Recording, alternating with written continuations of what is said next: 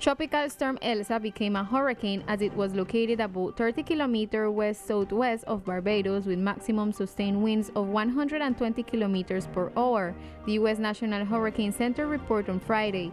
According to the project path of this weather phenomenon, its winds will bring it to impact Miami in the first days of next week. Before that, islands such as Cuba, Puerto Rico, and others in the Caribbean are compromised. The DIMAR warns that the entry of Hurricane Elsa in the eastern Caribbean Sea will cause the swell to present significant height between 3 and 4 meters of height, a signal that will be transferred to the rest of the basin with the transit of the system in the region. Regarding weather conditions, precipitation is expected to be activated throughout the Colombian Caribbean region due to the indirect action of Tropical Cyclone Elsa. It is important to emphasize to the community that so far Elsa does not present any danger to our department.